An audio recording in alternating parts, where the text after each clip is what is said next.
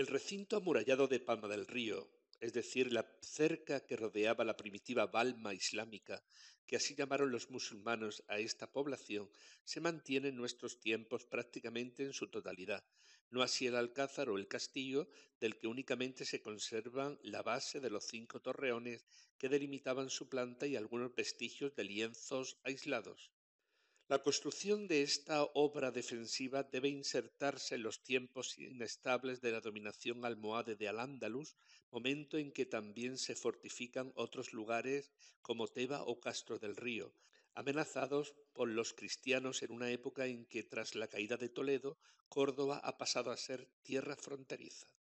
Son conocidas, por ejemplo, las andanzas por estos lugares de las denominadas milicias de Ávila, que en su ímpetu llevaron la guerra al propio corazón del país enemigo. Por Said al-Sala sabemos que las milicias cristianas en 1175 salieron de Ávila con dirección a Sevilla, alcanzando los márgenes del Guadalquivir que atravesaron precisamente por el vado que existía entre el castillo de Balma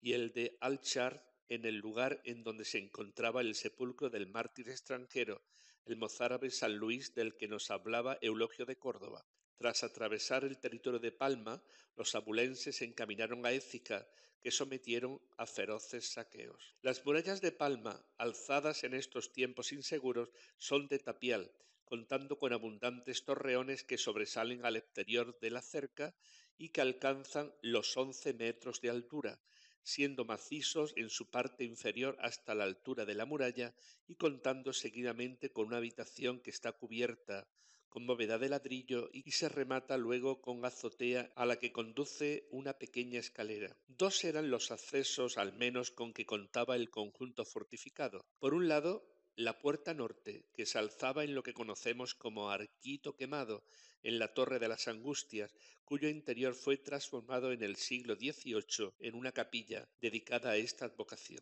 El otro, la Puerta del Sol, situada hoy frente a la parroquia de la Asunción, forma un pasadizo que transcurre bajo un doble arco con bóveda de ladrillo y cuatro nervios de ese mismo material. Esta puerta sufrió importantes reformas a raíz de la construcción del Palacio de los Portocarreros, transformándose la planta superior en dependencia del mismo. Los señores de Palma abrieron allí un bello balcón de estilo renacentista que se asomaba majestuoso a la plaza mayor de la villa, que hoy conocemos como Plaza de Andalucía.